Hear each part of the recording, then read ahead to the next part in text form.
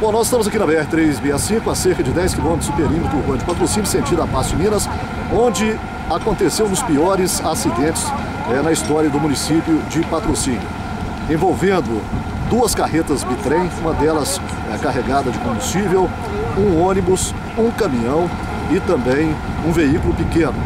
Todos pegaram fogo Três vítimas foram socorridas à Santa Casa de Patrocínio. A pastagem que nós estamos vendo aqui ao lado também foi toda incendiada por esse grave acidente que está mobilizando toda a estrutura do Corpo de Bombeiros, toda a estrutura da Polícia Militar, também com o apoio do Departamento de Águas da cidade que trouxe seus caminhões-pipa, da Polícia Rodoviária Federal, enfim, um gravíssimo acidente, um congestionamento muito grande também é, entre Patos e Patrocínio na BR-365. O acidente aconteceu a cerca de 10 quilômetros do perímetro urbano. O senhor Tito Gomes estava na caminhonete, felizmente conseguiu sair vivo do acidente. Terrível, né, senhor Tito? Triste, né? Essas queimadas aí.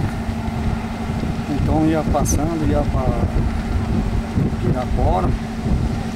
Aí um fogo muito grande, muita fumaça. Aí eu parei na, na, no acostamento, aí a fumaça invadiu. Aí só foi vendo batendo, só batida, um atrás do outro. Quer dizer então que foram várias batidas então? Várias. Aquela caminhonete caiu lá no barranco é do senhor? É minha, Cidões. Quer dizer que o senhor foi atingido então? Mesmo tendo parado, foi atingido? Bateram na traseira. O senhor vinha de onde? De Uberlândia? O senhor mora lá? Não. Estava sentido indo a sentido Patos? Eu estava indo para Pirapora. Pirapora. Então o senhor viu várias batidas. Quantos veículos no total foram? Não, eu não vi nada que não, não, não, não dava para enxergar nada. Eu via o barulho tinha jeito de ver nada, tá tudo fumaçado, fogo.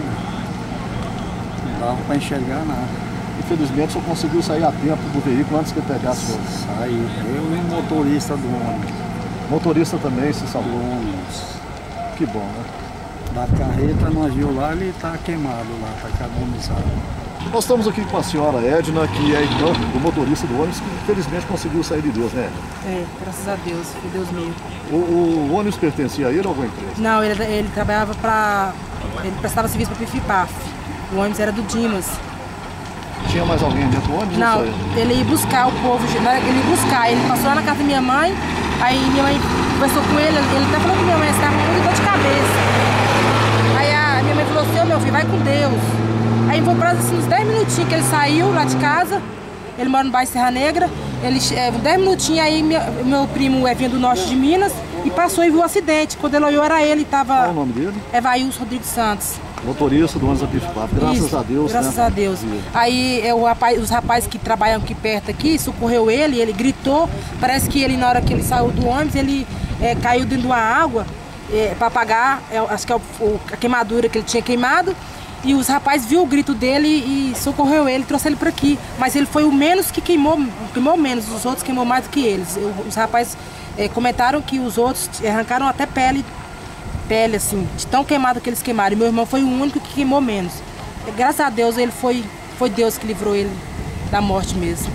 Nós estamos aqui com o senhor Eduardo Brunetti. Senhor Eduardo, nós estamos vendo aí pelas imagens cinco veículos envolvidos, não é isso? O senhor é. chegou aqui pouco depois, o que aconteceu? Eu estava 500 metros atrás, eu vi a fumaça.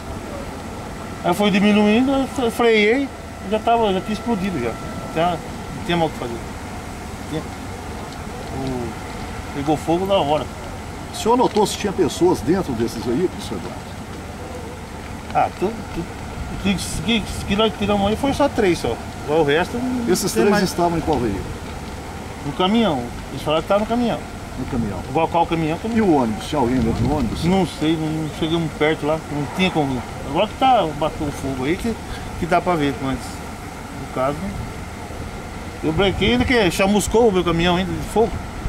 Parei dentro do fogo lá. Só parou poucos metros atrás, só estava indo no caminhão. Eu estava no caminhão, eu vi a fumaça e diminuiu a velocidade.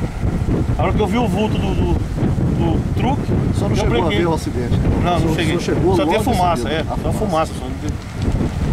Certo. Muito obrigado, senhor.